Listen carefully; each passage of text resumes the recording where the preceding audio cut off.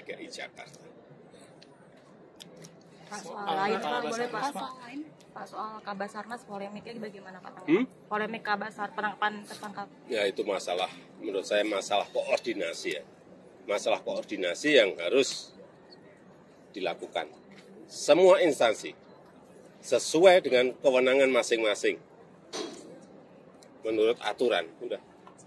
Kalau itu dilakukan, rampung. Pak, ada evaluasi uh, perwira tinggi TNI yang menduduki jabatan sipil nggak? Karena akhirnya kalau ada masalah hukum ke depan akan terjadi konflik seperti Kabasar. Semuanya akan dievaluasi. Tidak hanya masalah itu, semuanya.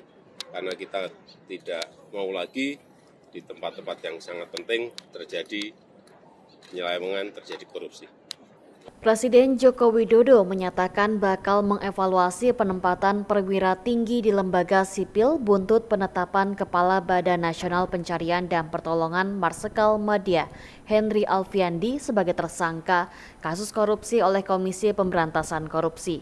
Penetapan Henry Alfiandi sebagai tersangka oleh KPK menimbulkan polemik karena sebagai anggota TNI aktif kasusnya hanya bisa diusut lewat mekanisme peradilan militer. Oleh karenanya, KPK sempat meminta maaf dan mengaku hilaf.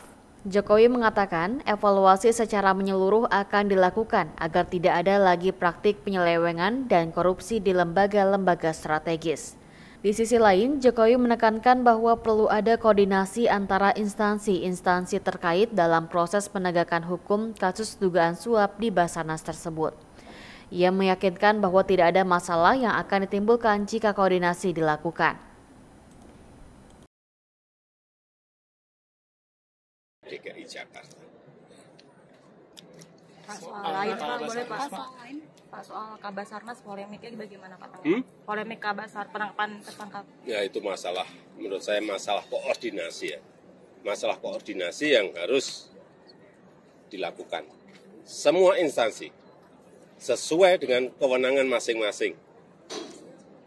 Menurut aturan, udah. Kalau itu dilakukan, rampung.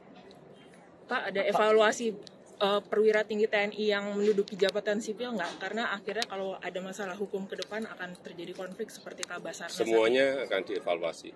Tidak hanya masalah itu, semuanya. Karena kita tidak mau lagi di tempat-tempat yang sangat penting terjadi penyelewengan, terjadi korupsi.